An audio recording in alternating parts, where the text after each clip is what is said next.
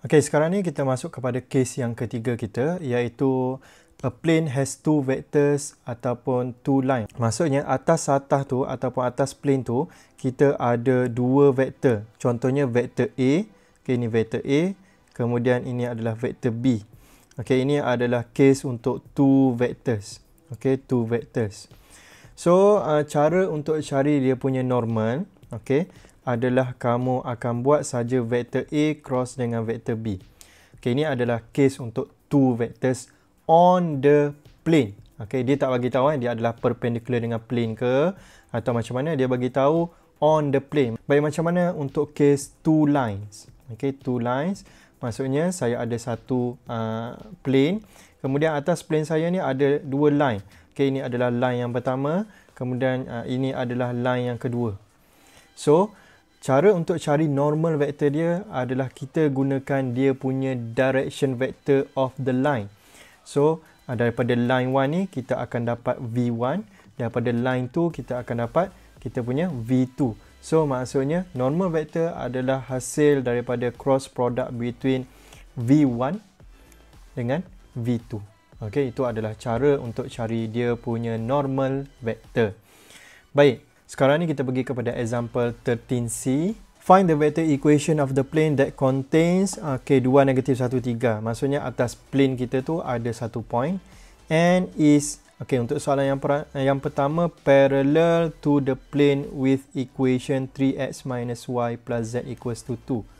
Find vector equation of the plane contain 2 negatif 1 3 dan dia juga adalah parallel dengan satu plane yang lain. Equation dia dia dah bagi dah. Okey, maksudnya kalau saya lukis eh, okey ini untuk soalan A, kalau saya lukis ini adalah plane yang pertama.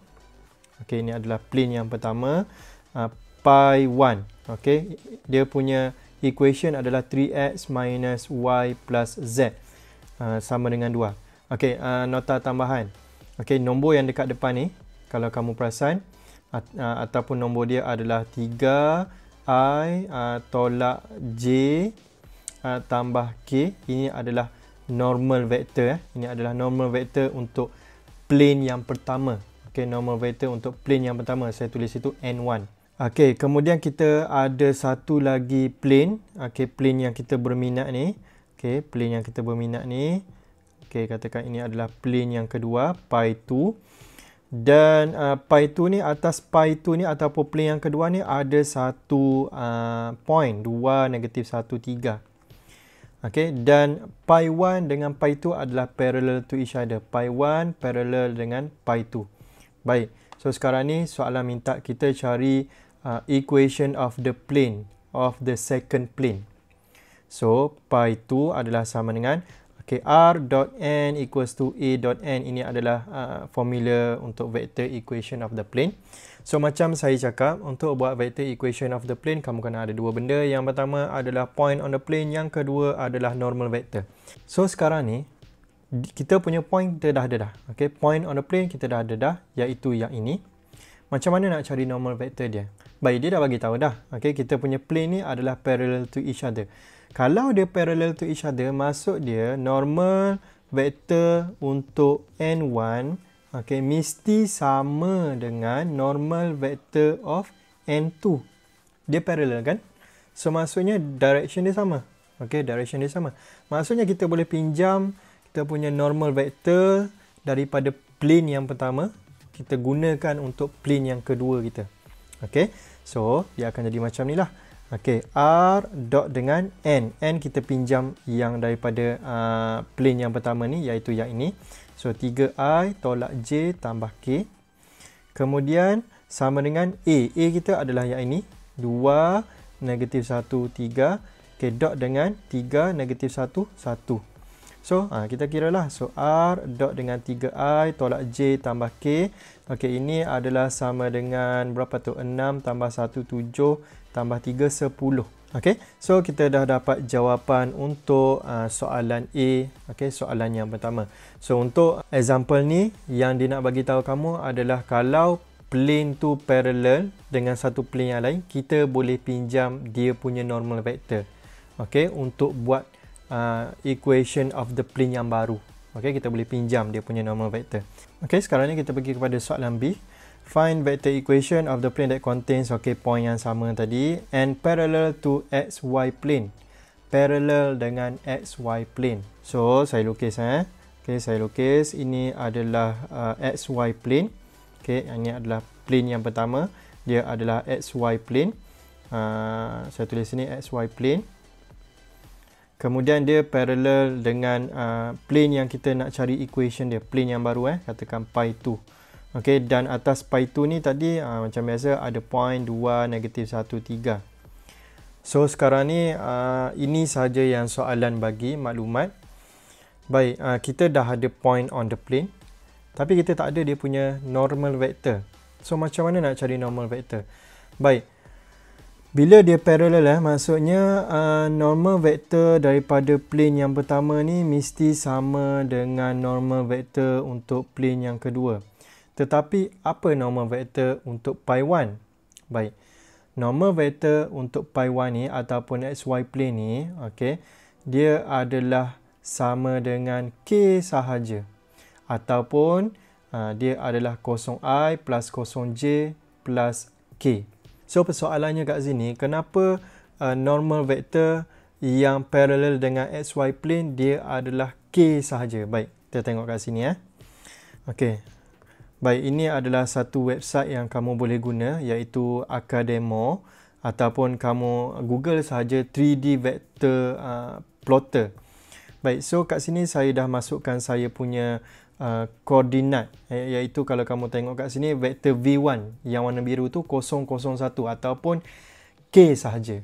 Baik, so kalau kita tengok K ni, okay, 001 ni, okay, kalau kamu nampak kat sini ini adalah XY plane. Okay, XY plane Okay, nampak tu xy plane. Okay, kita ada axis x, axis y.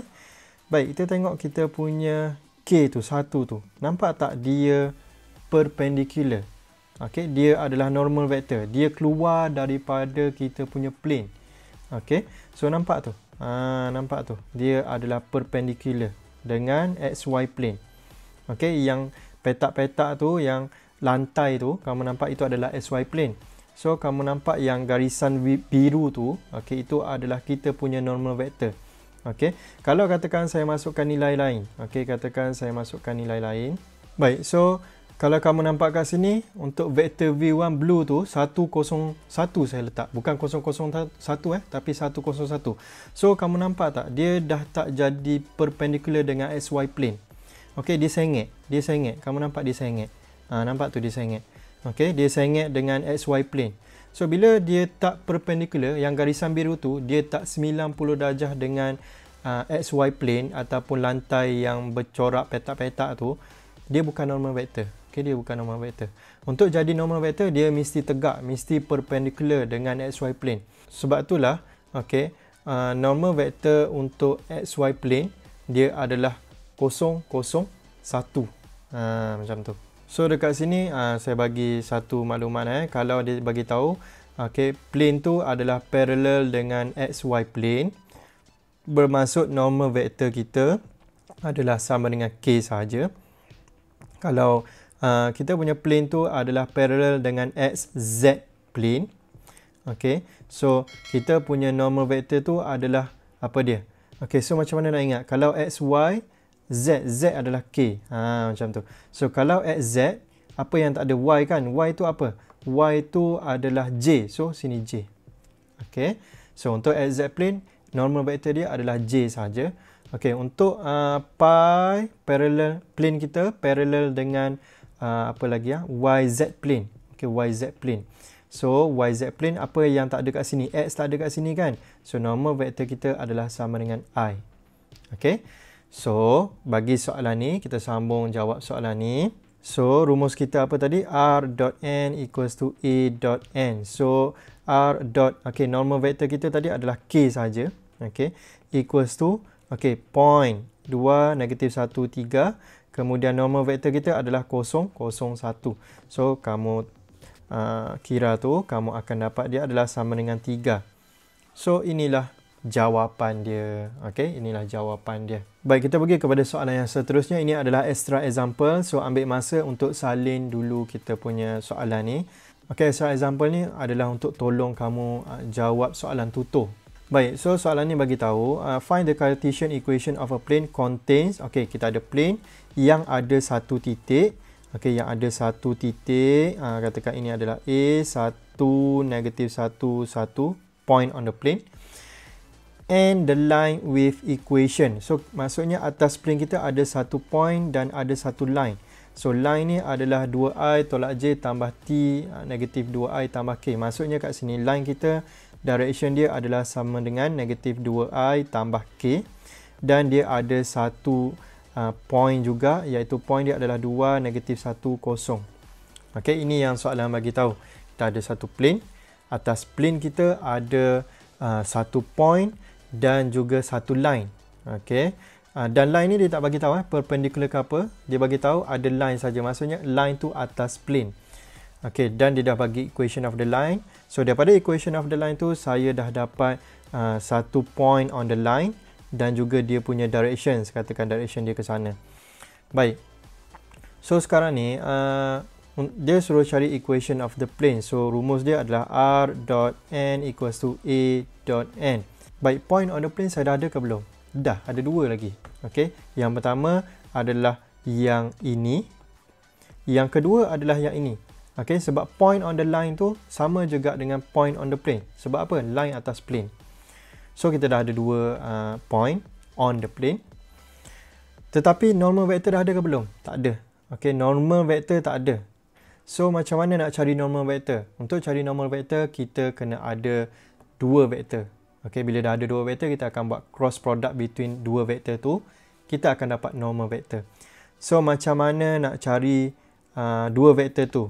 Baik, vektor yang pertama adalah direction vector daripada line ni. Okey. Kemudian vektor yang kedua kita boleh create, kita boleh buat. Okey, macam mana nak buat? Ha ni. Kita boleh buat ha, daripada ha, A pergi ke point P. Okey, ini saya namakan dia point P. Okey. So saya boleh buat macam tu daripada point A pergi ke point P. Okey. So bila saya dah dapat vektor AP Okay, saya dapat satu vektor dan uh, vektor V pun satu vektor. So, kita buat cross product between those two vektor tu, kita akan dapat kita punya normal vektor. So, sekarang ni yang pertama adalah saya kena cari AP dulu. AP daripada A pergi ke P. So, OP minus OA. Okay, so ini kamu kira sendiri. Uh, jawapan dia adalah sama dengan negative I minus K. Okay, kemudian uh, V. V saya adalah sama dengan negatif 2i plus k. Okay, so dah ada dua vektor. Ini vektor yang pertama, ini vektor yang kedua. Kita akan buat cross product between those two vektor untuk cari kita punya normal vektor. So, kita punya normal vektor akan jadi uh, ah, AP cross product dengan V. Okay, cross product dengan V. So, kita akan dapat macam mana? Okay, ini I, J, K. Okay, so AP dulu. Uh, so, negatif 1, kosong negatif 1. Uh, V kita adalah negatif 2, kosong uh, 1. So, kamu kira sendiri. Okay, kamu kira sendiri dan kamu akan dapat uh, jawapan dia adalah sama dengan negatif uh, 3J. Okay, negatif 3J. So, uh, sekarang ni saya dah ada normal vector. Kemudian point on the plane saya nak guna yang mana? Baik, saya akan gunakan yang point A ni. Okay, point A ni. Okay, sebab apa? uh, point tu yang dia bagi dalam kita punya soalan okay? yang contains uh, ini point ni so point inilah yang kita akan gunakan dia so uh, r dot n equals to a dot n so r dot dengan n kita apa tadi negatif 3j so negatif 3j Okay, A kita apa tadi? 1, negatif 1, negatif 1 dot dengan okay, kosong, negatif 3, kosong. So kita akan dapat R dot negatif 3J sama dengan 3. Okay, ini adalah vector equation. Soalan mau apa? Soalan mau Cartesian equation. So ubah saja. Okay, X, Y, Z. Okay, ini akan jadi kosong, negatif 3, kosong sama dengan 3. So kamu akan dapat negatif 3Y sama dengan 3. So Y adalah sama dengan 3 bahagi negatif 3. Y adalah sama dengan negatif 1. So dah dapat dia punya uh, Cartesian equation. Ini je lah. Okay. Dia punya Cartesian equation untuk kita punya example ni. Okay. So, selesai untuk equation of the plane. Okay. Next, kita akan masuk kepada angle between two plane. Okay. Itu saja. Thank you guys.